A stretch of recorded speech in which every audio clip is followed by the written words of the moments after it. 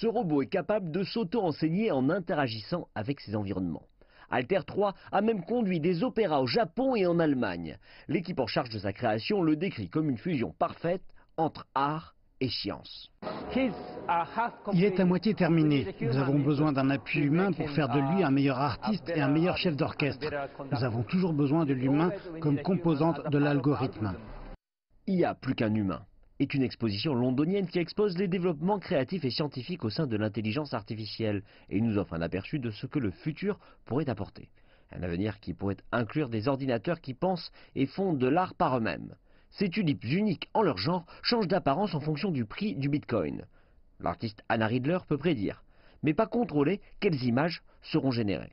De retour à son studio, elle déclare que l'intelligence artificielle lui a permis de travailler dans de nouvelles directions.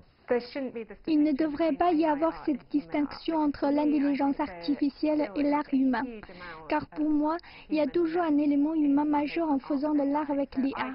Donc je me considère comme une artiste dans le travail, car je suis la seule à prendre les décisions, à apporter les idées et à faire différents éléments avec cela. Elle considère son rôle en tant qu'artiste comme amélioré plutôt que mis en danger par les possibilités de l'intelligence artificielle. J'ai dû passer une année à tenter d'enseigner à une machine ce qu'est une tulipe, donc les robots tueurs ne sont pas encore là.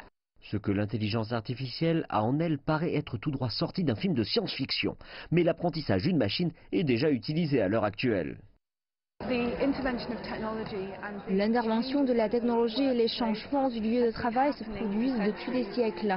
Ce nouveau développement dans la technologie nous permettra de penser de façon créative sur comment nous travaillons et nous allons pouvoir améliorer nos compétences comme nous l'avons toujours fait.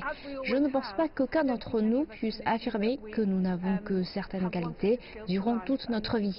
C'est ce que l'IA nous montre, il s'agit d'un autre processus de l'évolution.